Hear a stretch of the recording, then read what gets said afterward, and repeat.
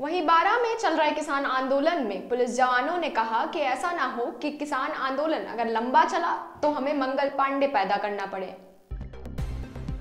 संयुक्त किसान मोर्चा के बैनर तले शुक्रवार को नरेश मीणा ने कोर्ट रोड पर निजी रेस्टोरेंट में प्रेस वार्ता की।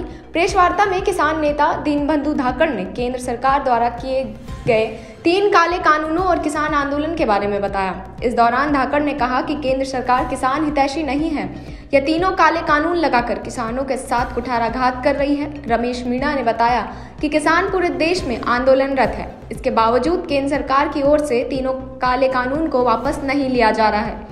किसानों पर अत्याचार किया जा रहा है। किसानों को अलगाववादी बताकर अपमानित किया जा रहा है। किसान महापंचायत के प्रदेश संगठन मंत्री बजरंग लाल मीणा ने प्रेस वार्ता में कहा कि इसे सरकारें आई और गई। किसी भी सरकार ने किसानों का भला नहीं किया। अगर कोई सरकार किसानों का हाथ से 10 प्रतिशत देते हैं तो दूसरे हाथ से 20 प्रतिशत वापस ले लेती हैं। सरकारों द्वारा हर जगह किसानों का शोषण किया जा रहा है।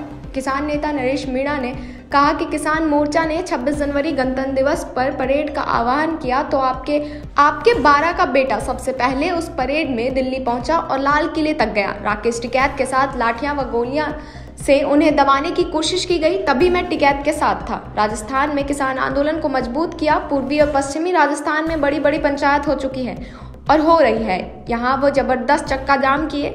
हाडौती के किसान मौजूद हैं। राजस्थान में सबसे ज़्यादा इनकम स्रोत खेतीबाड़ी का है। किसानों द्वारा बड़ी किसान पंचायत करने का इरादा है, लेकिन अभी फ़िलहाल किसान खेती में व्यस्त होने के कारण यह पंचायत अप्रैल तक करने का मानस है। किसानों को जगाने के लिए गाँव गाँव चौपाले आयोजित कर किसानों को जागरूक किया जाएगा। इसमें किसानों को केंद्र सरकार द्वारा किसानों पर थोपे गए तीन काले कानूनों के बारे में बताया जाएगा और किसानों को जागरूक किया जाएगा। कुछ समय बाद पंचायत के चुनाव होने को हैं। किसानों की बात को ज़िम्मेदारी से रखा जाएगा और किसानों के हित में बात करेंगे। आपको बता दें कि वोट देंगे अन्यथा चुनाव का बहिष्कार किया जाएगा। ये किसानों के लिए आज़ादी का आंदोलन है। किसान खेती करने वाला ही किसान नहीं है। भेड़ चढ़ाने वाला भी किसान है। किसान के धंधे में गारंटी नहीं है कि उसे फ़ायदा मिले। प्रेस वार्ता में कृष्ण मुरारी नागर भी मौजूद रहे। को लेकर हमने बारह में भी एक योजनाबद्ध तरीके से हम इस आंदोलन को चलाने वाले हैं। और उसके लिए हम बहुत बड़ी महापंचायत बारह में करेंगे। लेकिन आज बारह में हमारी फ़सलें कटने लग गई है, किसान खेतों में व्यस्त है। ऐसे में हम ये सोच रहे हैं कि अभी हम कुछ दिन जब तक किसान व्यस्त है, तब तक हम गाँव में जा जाके छोटे छोटे किसान चौपाले लगा के एक बार गाँव में किसानों को जागरूक करें। और जैसे ही किसान थोड़ा फ्री होगा, खेतों से वो व्यस्तता कम होगी, उसके बाद हम बारह में बहुत बड़ी किसान महापंचायत बुलाएँगे, जिसमें राष्ट्रीय किसान नेताओं को हम यहाँ बुला कर उनका किसानों के किसानों के बीच में लाकर उनकी अपनी बात रखवाएँगे। सर किसान में क्या क्या कमियाँ हैं? क्या क्या आपने देखा है?